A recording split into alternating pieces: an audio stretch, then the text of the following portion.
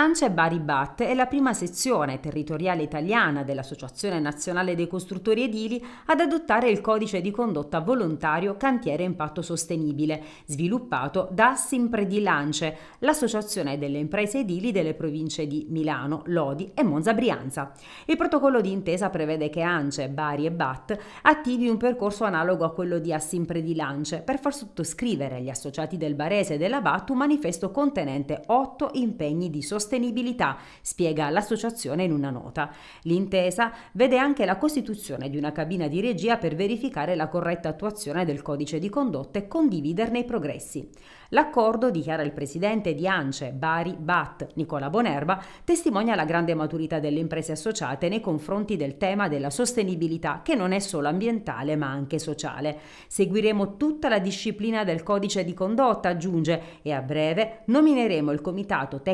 tecnico-scientifico di vigilanza e monitoraggio affinché siano garantite trasparenza e serietà dell'accordo anche nei confronti dei nostri stakeholder.